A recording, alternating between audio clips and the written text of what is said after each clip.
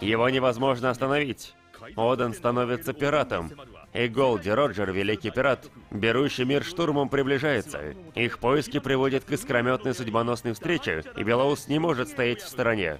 Начинается грандиозная битва с участием войск с обеих сторон. В следующей серии One Piece. Скрестить мечи. Роджер и Белоус. Я стану королем пиратов.